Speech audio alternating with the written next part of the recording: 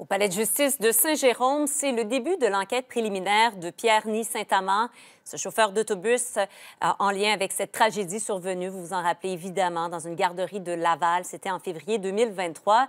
Elisabeth, plusieurs témoins vont être entendus.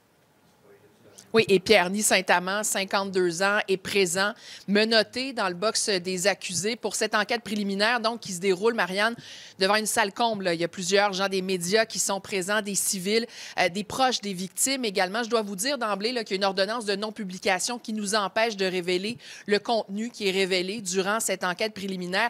Et il y a une ordonnance aussi qui a été prononcée concernant l'identité des victimes et surtout détails qui permettraient de les identifier. Il faut rappeler hein, que Pierre-Ny Saint-Amand fait face à neuf chefs d'accusation, dont deux de meurtres prémédités en lien avec cette tragédie qui est survenue le 8 février 2023 dans une garderie de Laval, au cours de laquelle deux enfants euh, ont trouvé la mort, six autres ont été blessés. Cette enquête préliminaire, il y a quatre jours qui sont prévus pour les audiences ici au Palais de justice de Saint-Jérôme. On parle d'une dizaine de témoins qui seront euh, entendus. Écoutons là-dessus la procureure au dossier différents témoins, des témoins d'ordre civil, témoins policiers. Alors, euh, il y aura euh, environ 13 témoins qui seront entendus cette semaine. C'est ce que je peux vous dire. Je ne peux pas aller dans le détail des déclarations de chacun des témoins.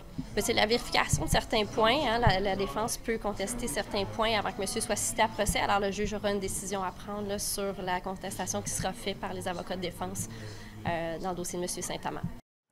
Et tout autre dossier, revenons, Elisabeth, sur ce meurtre survenu la semaine dernière à Terrebonne dans un bar de danseuses nues. La Sûreté du Québec confirme maintenant l'arrestation d'un suspect. Et ça a été confirmé là, en milieu d'avant-midi, un homme de 25 ans qui a été arrêté autour de midi euh, hier, un homme de Laval qui a été interrogé et qui devrait comparaître aujourd'hui au palais de justice de Laval. On ne sait pas sous quel chef exactement, euh, mais c'est en lien donc avec le meurtre de cet homme de 32 ans. Souvenez-vous, hein, c'était dans la nuit de jeudi à vendredi dernier. La Sûreté du Québec précise que le suspect qui a été arrêté là, aurait été impliqué lui-même dans l'altercation et blessé même lors des événements. Voilà. Merci, Elisabeth. Au revoir. Au revoir.